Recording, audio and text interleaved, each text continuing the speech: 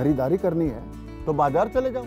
Online खरीदारी में refund guarantee जैसी जानकारी कहाँ मिलेगी? दादाजी अब देश में उपभोक्ता संरक्षण अधिनियम 2019 लागू है सो अब मामला अलग है। वो कैसे? ई कॉमर्स प्लेटफॉर्म पर return refund guarantee warranty delivery payment के तरीके शिकायत निपटान आदि की जानकारी होना अब ज़रूरी है।